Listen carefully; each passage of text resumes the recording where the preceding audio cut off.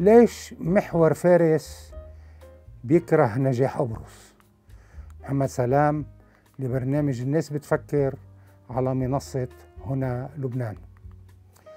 شو سبب الحملة السياسية الإعلامية الشرسة؟ من قبل حزب إيران وذبابه الإعلامي على جمهورية قبرص واعتبارها عدو. وكيل الاتهامات إلها بالتعاون مع إسرائيل وأمريكا وبريطانيا تمهيدا لمشاركتها بحرب ضد امتدادات محور فارس بالعالم العربي. سفير دولة أنجلوفونية سبق أن اعتمد بلبنان. يوضح أن المحور الإيراني يرى في نجاح التجربة الأبروسية بنصف القرن الأخير تهديد مباشر لخطته الهادفة للسيطرة على القسم العربي من دول حوض البحر الأبيض المتوسط إضافة للعراق والأردن.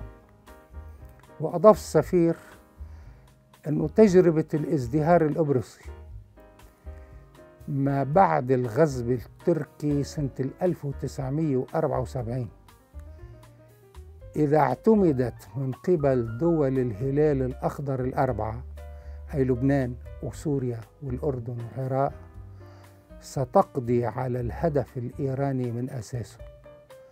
لبنان وسوريا دولتين على حوض البحر الأبيض المتوسط. العراق عنده منفذ بحري على الخليج لكن منه عضو بمجلس التعاون الخليجي والأردن بيطل على البحر الأحمر فقط. ثلاثة من الدول الأربعة. أي لبنان وسوريا والأردن هي دول طوق لإسرائيل ولا تملك حدود مشتركة مع إيران. العراق هو الدولة الوحيدة بين دول الهلال الأخضر يلي لا تحد إسرائيل بل عندها حدود مشتركة مع إيران طولها 1281 كيلومتر. جوهر تجربة قبرص يلي بتخاف إيران أن تعتنقها شعوب الدول الأربعة هو أنه نجاحها لا سيما شطرها الجنوبي اليوناني يستند إلى مصيبة تقسيمها إلى شطرين وفق رأي المصدر. تقسيم أي دولة أي دولة بالعالم بالمطلق عادة يجلب لها البلاء ويكون نتيجة مجازر ومصائب وآلام وحروب. لكن تقسيم قبرص إلى شطرين أفرز نتيجة مناقضة تماما لما هو معتمد وأدى إلى ازدهار الشطرين الشمالي التركي والجنوبي اليوناني يلي بيتبعوا محور إيران بيتابعوا عن بعد ويخشاه جدا المحور الإيراني.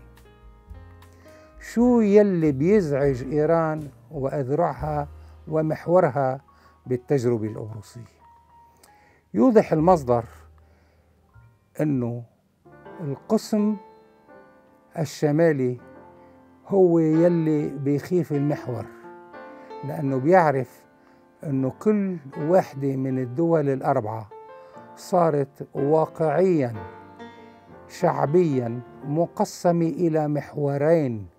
محور إيراني يضم كل أتباع طهران ومرتزقة أذرع إيران ومحور وطني.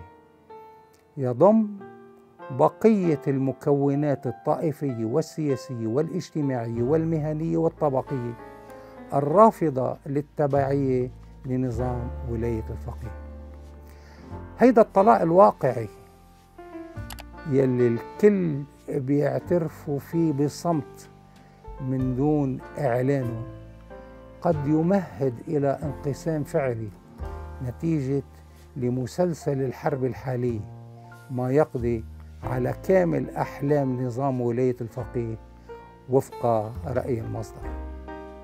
ما سر إطلاقا أنه حلفاء محور فارس وإخواننا المسلمين غير مقبولين في مناطق ترفض توجههم بل هم أيضا غير مقبولين حتى في مناطق تحالفت قيادتها معهم ورفضها شعبهم.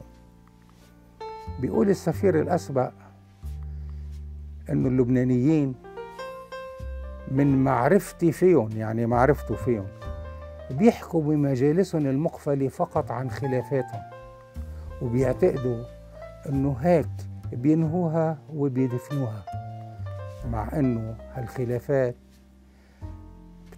بتنمى وبتكبر وبتغلص وبتتراكم ويزيد حقدها في عتمة القلوب وبعدين تنفجر.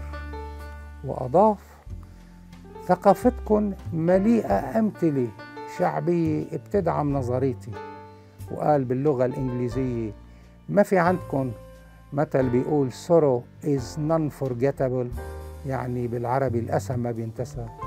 بقية الأمثلة قالها بعربية فصحى عدو جدك لا يودك و...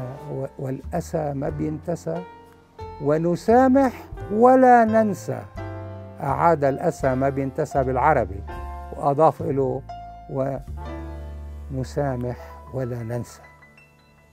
وذكرني أنه بعد تقسيم قبرص بالعملية العسكرية التركية ردا على انقلاب الحرس الوطني اليوناني كسب القطاع الجنوبي اليوناني عضوية الاتحاد الأوروبي وتضاعفت مداخيله عشرات الأضعاف وتضاعف إقبال اللبنانيين والسوريين المقتدرين على شراء عقارات على الأرض القبرصية.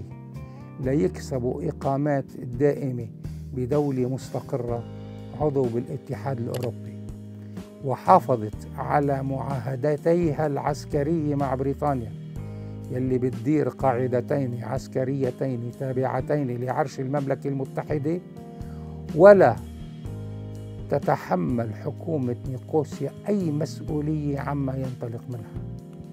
أما قبرص التركية الشمالية يلي ما بتعترف فيها سوى دولة تركيا فقد تحولت من منطقة ريفية متواضعة تعيش على الزراعة وتصنيع أجبان من حليب الماعز إلى ما يشبه ولاية لاس فيغاس الأمريكية.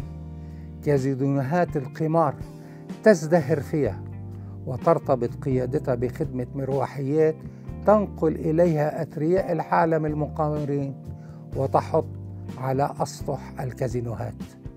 وخلص الدبلوماسي إلى أن دول الهلال الأربعة يلي بتضم مكونات طائفية وعرقية متعددة صارت لأول مرة في تاريخها موزعة الولاء ثنائيا.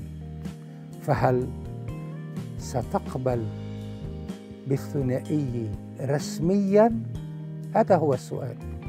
ولفتني إلى أن لبنان يعاني من نقص فادح في تأمين تمويل لمساعدة مهجري حرب محور إيران في الجنوب لأن الدول المقتدرة ترفض تمويل أتباع المحور الإيراني.